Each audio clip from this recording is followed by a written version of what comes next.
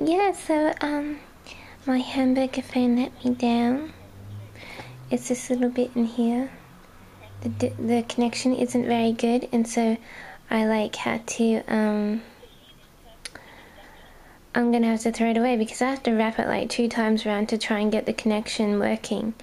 But it, I've only had it for like one and a half months, and I have to throw it away because it, I mean, without that being wound around, by chance it works.